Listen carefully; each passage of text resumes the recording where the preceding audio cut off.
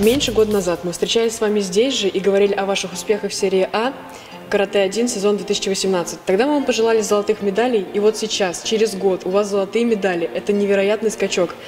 Как охарактеризуете этот год для вас? Этот год очень насыщенный для нас. Э, уже с 10 января у нас началась подготовка активная к чемпионату Европы, который будет в конце марта. Сейчас у нас э, к подготовке будет три турнира. Вот один уже прошел, это был Open Париж, Карате One, премьер-лига. Новые правила, и у нас, конечно же, в программе были изменения – и было достаточно тяжело. И это был первый турнир для нас, и, слава богу, он прошел для нас достаточно удачно. Расскажите, в чем разница между прошлогодним выступлением и этим? В прошлом году наша команда была еще, как сказать, новичком. Мы уже полтора года вот сейчас вместе. Тогда это было все для нас впервые, было также много стартов. Мы набирали опыт. И достаточно тоже хорошо себя показывали на соревнованиях. Где было тяжелее? Наверное, самый тяжелый для нас старт был чемпионат мира, я считаю.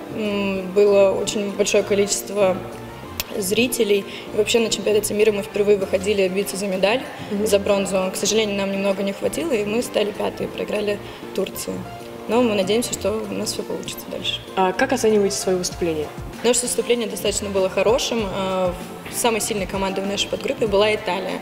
Мы встречались с этой командой на прошлом турнире в Берлине в финале и уступили им, к сожалению. Но в этот раз в предварительных кругах а, у нас сначала мы набрали равное количество баллов, и у нас была, так сказать, переигровка. И между нашей командой и командой Италии выбирали э, финалиста.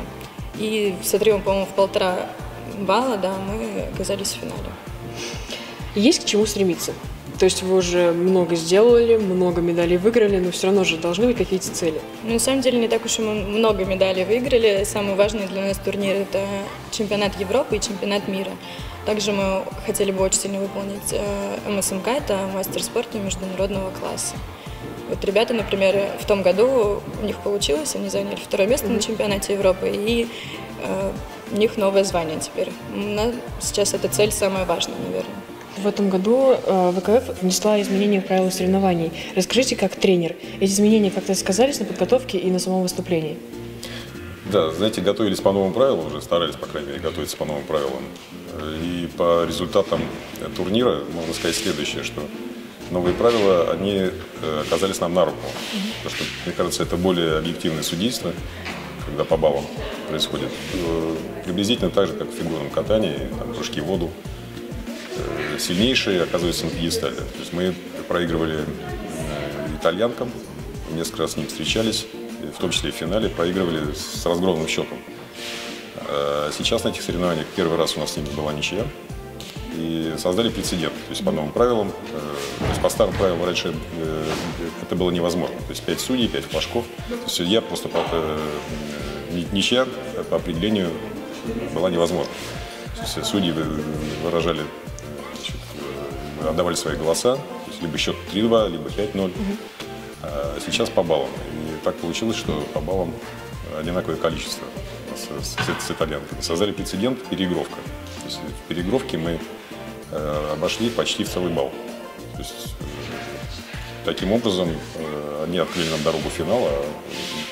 В финале э, очень сильные соперницы у нас были. Иран тоже у них никогда не, выигрывали, никогда не выигрывали. Да. До этого и полтора балла. То есть там не 0,2, шаг 0,2, а мы обошли э, практически в полтора балла. Да. Я знаю, что в этом году ВКФ внесла изменения в правила. Изменения помешали вам или все-таки сыграли на руку?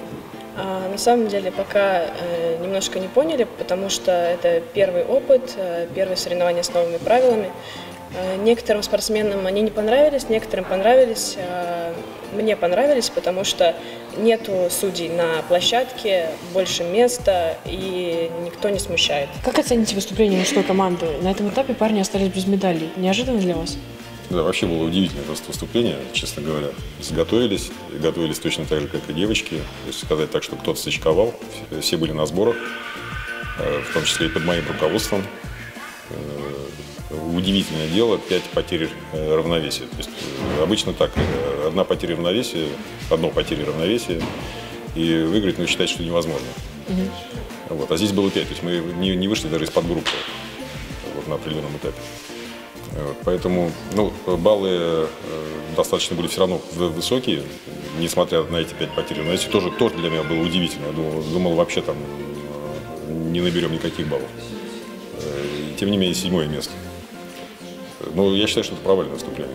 Какой следующий турнир, когда и где будете готовиться? Через пару дней уезжаем в Парамоново на базу. Там будет подготовка к соревнованиям, которые также называются «Карате-1», «Премьер-лига», и проходить они будут в Дубае. Совет вашего тренера, который всегда вам помогает. Верить в себя. Однозначно. Это всегда помогает. Назовите три причины заниматься карате. Наверное, одна из главных причин – это быть всегда в хорошей физической форме. Конечно, это прекрасное хобби. И неплохой заработок.